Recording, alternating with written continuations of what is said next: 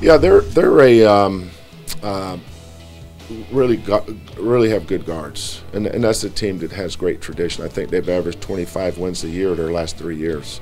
They've been in the NCAA tournament. Uh, they have five uh, Power Five conference wins on the road uh, at North Carolina State. Um, you know they they're, they're good. They're, they're, good. They have really really good guards, and, and, they've got a really good coach. Anytime a team comes in with a great plan.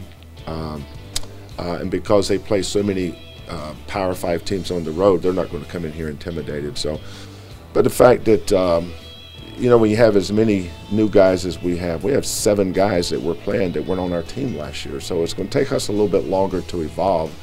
That's why I think we're going to get a lot better. Um, but you know, roles tend to get filtered in uh, as you go, and then I still I still think the strength of our team going forward is going to be our depth. You know, when, when we started this uh, process, we we just took the approach that was going to be um, brick by brick. You know, it's uh, you know, the highlight of uh, what we're accomplishing here wasn't Sunday. It's just our last game. You know, the improvement that we make from uh, Sunday to Wednesday and you know throughout this uh, non-conference portion of the schedule is going to be critical.